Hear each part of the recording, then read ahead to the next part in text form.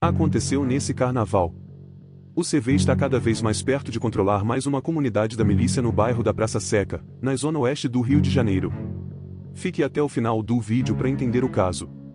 Antes, querem receber mais notícias sobre as comunidades do Rio de Janeiro? É só escrever nos comentários, o eu quero. Só para sabermos que devemos continuar. Assim como nos morros da Chacrinha, Fubá, Gardenia Azul e Vila Sapê, os traficantes do Comando Vermelho iniciaram o processo de entrar no Morro do Divino, dentro da Praça Seca, na zona oeste do Rio de Janeiro. Os traficantes da equipe Tiriça e Tropa do Urso estão desde a semana passada trocando tiros com os milicianos que sobrevivem no Morro do Divino, após serem expulsos dos morros do Fubá e Barão, que estão ocupados pelo Comando Vermelho. O Morro do Divino é uma pequena comunidade que fica entre os Morros dos Fubá e Menezes, e próximo ao Morro da Barão, com o enfraquecimento da milícia do Tico e Teco, as pequenas localidades viraram alvos do tráfico. Vamos aguardar se o CV vai firmar dentro do divino mesmo.